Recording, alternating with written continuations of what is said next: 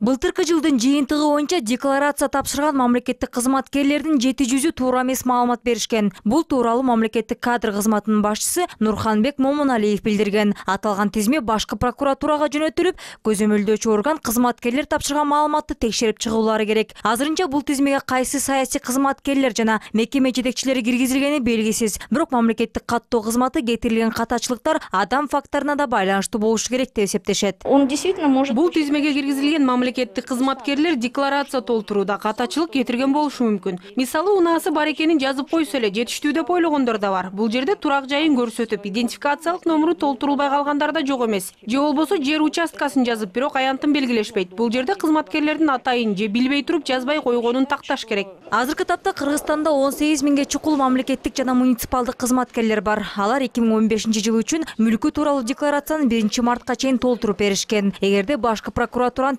текшерүүсүнүн жыйынтыгында кызматкерлер кирешеси тууралуу туура эмес маалымат тапшырганы аныкталса анда буга укуктук баа берилиши керек. Мамлекеттик же муниципалдык кызматкер туура эмес э, берсе аны жумуштан дагы алып коюшу мүмкүн.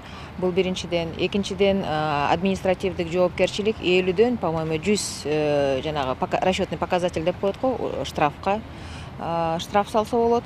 Андан тышкары жанагы э, мен ойлойм прокуратура тарабынан жанагы э, чоң кызматта отурган чиновниктерге ошондой э, жана тизмеге түшүп калса анан өзүнүн жанагы кирешесин чыгашасын туура көрсөтө албагандарга кылмыш кодекс боюнча үч жылдан беш жылга чейин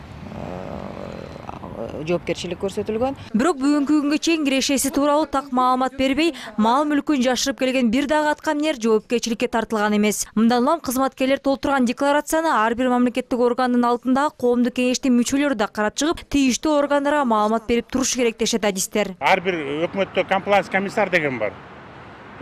Общественность бар общественный.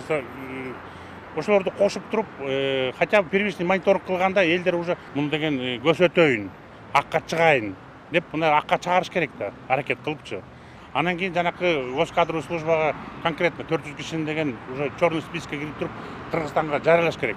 Саясий жана мамлекеттик кызматкерлердин декларациясындагы маалыматтын тууралыгын текшерүү үчүн эки жыл мурда атайын мекеме аралык комиссия да түзүлгөн. Бирок алар жарыттуулуу иштей албай жатышат деген сын пикирлер арбын. Нурзада сыдыкбекова аскат касымбеков нтс